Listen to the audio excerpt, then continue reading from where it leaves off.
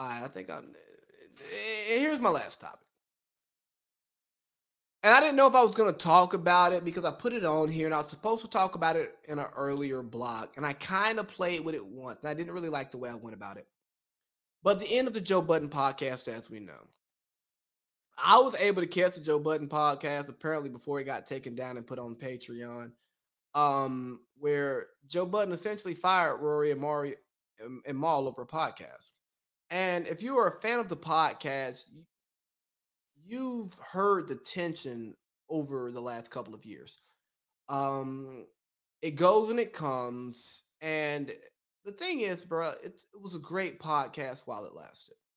I mean, the vibe, the chemistry they had was absolutely amazing. And as somebody who has a podcast and have done podcasts with friends, uh, uh, the vibe that they have was something that I was always trying to build with my podcast, man. Because what me and the pod crew do is is is when we started. That's what I was looking for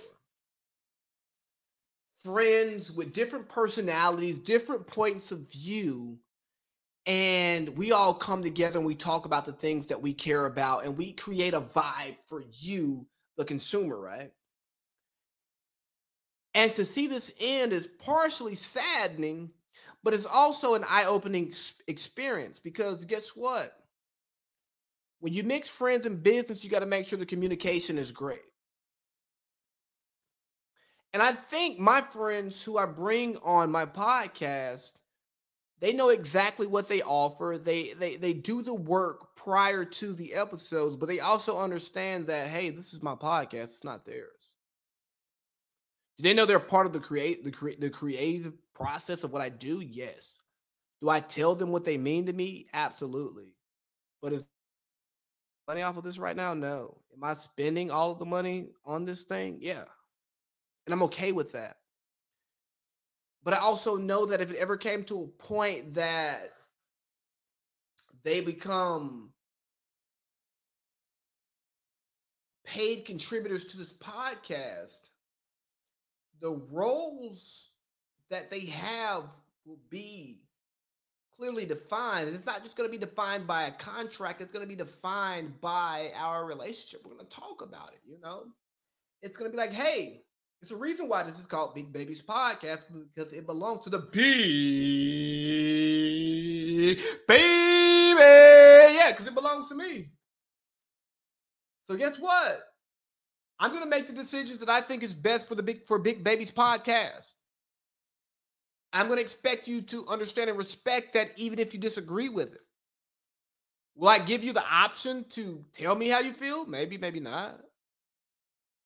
But if you're compensated, will I maintain whatever level of compensation that I promised you? Absolutely. But I think that it's important to not let people who are a part of something feel like they own it, right? It, it, it's just think about this, right? Because what it all boiled down to was Mal and Rory wanted to see the accounting, the bookkeeping, they wanted to act like they were owners, but they weren't owners. And Joe felt like they weren't even putting in the work as as co-hosts to even do that shit. But even if they did put in the work to make a great show, it's like, hey, bro, like you're not, bro, it's mine. Like you're not. What you gonna do? Walk into oh, because oh, we friends. You think you could just check me on this shit, right? But you wouldn't do that at your job.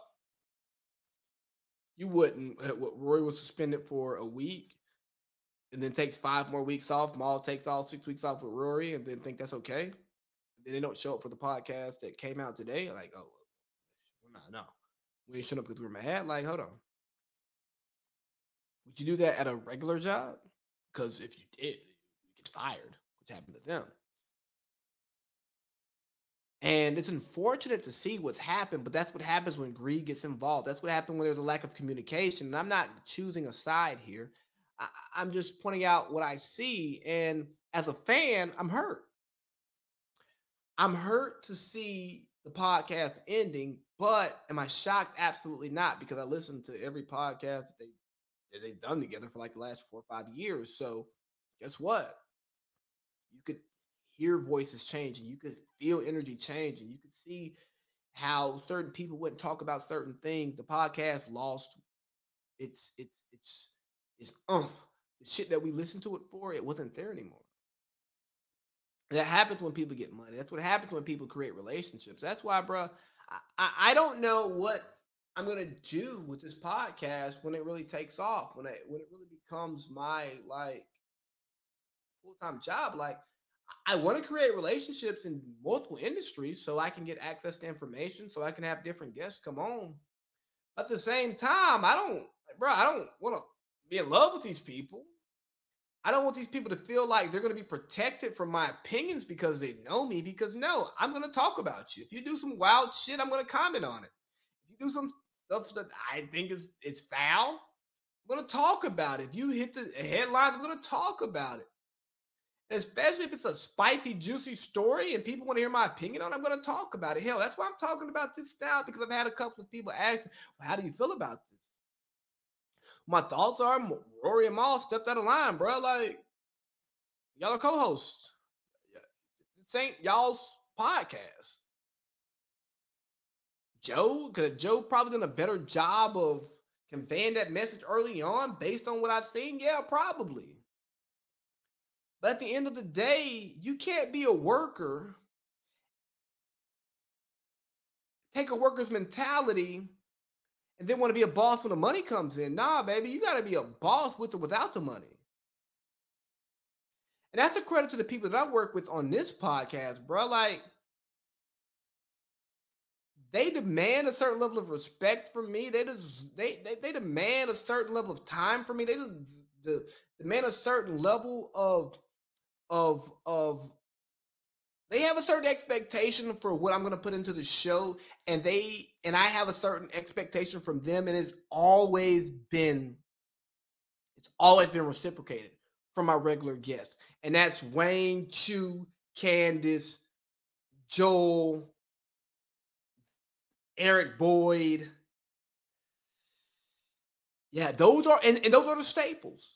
And those are the people who I talk to about growing this thing and making this a something, you know, making this some something. And and I look at them as more I look at them as more than just reoccurring guests because I want them to have a full-time role here on what we're building. You know? But that communication is so important that you're always communicating your thoughts, your ideas, your values. And then you're also carrying your weight and being who you are to the the the the, the, the podcast. You have to be what you're expected to be. And if you want more, you better make sure you're carrying that much weight. And if I ever lose sight of what my people bring to this podcast, Hey, all y'all slap fire to me. Y'all let me know. Because I know I got a solid team and I love my team. And there are other people who I've wanted to make a part of my team, but guess what? Their commitment wasn't there. They weren't ready to treat this the way that I treat it.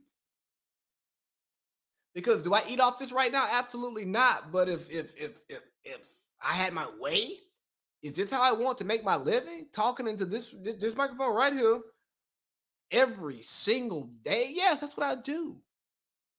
That's what I want to do. So I take it seriously.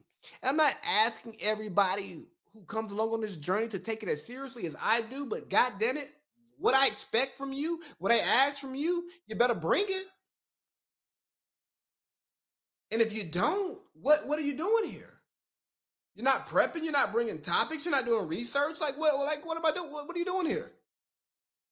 You're upset about some contractual stuff, but you don't want to have an open conversation about it? Well, what, what are you doing here? Guess what? You can be replaced. Everybody's replaceable. Almost everybody. Like I talked about earlier, the thing about being great, the thing about being exceptional is there not many people who are exceptional. Most people are cogs in a machine, and once you break down, we will replace you. And the biggest thing I got from the ending of the Joe Budden podcast, as we know it, is that people on that podcast did not realize that they were replaceable. Will it have the same vibe? No. It won't. It won't be the same. But will it be worse? I listened to the episodes with the other with the other hosts. No, still a good show. It's just, oh man, I gotta get I gotta get to know these new characters I don't know yet. That's all. But that comes with time. It comes with listening. And, and, so I hope everything gets worked out because they are friends. And I know getting fired on air would probably sit some type of way with me with my friend. And I would love to see them back on the podcast. And more importantly, right, trying to pay for the podcast every month. Damn, Joe, I got enough expenses. If that's what it is, you know, that's what it has to be because the legal stuff. So, man, here, uh, here's what we're gonna say. Communication is key, and my communication skills are subpar. I, I admit they're subpar. I, I, I live off of implicit communication to believe that everybody understands what I'm thinking when I'm thinking it, and, and they don't.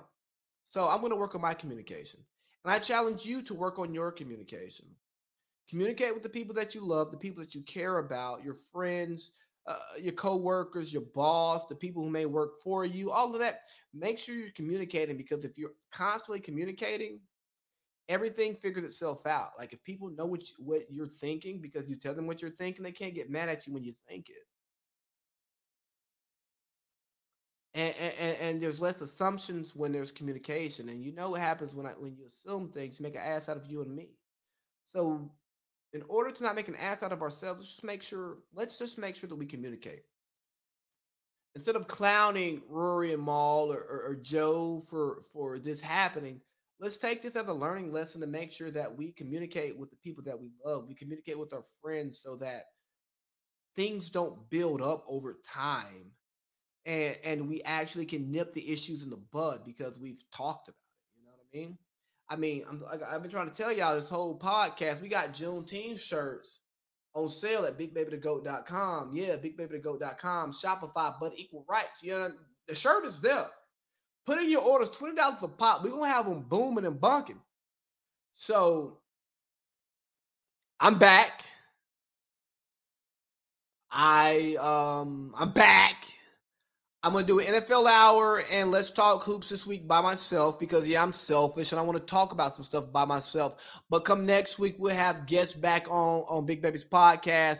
We'll have a we have some guests on NFL hour and we're definitely gonna have some guests on uh, Let's Talk Hoops because we got content going crazy. You know, post draft, getting into the real NFL off season, gearing up for the NBA playoffs. We'll probably be Let's Talk Hoops every week.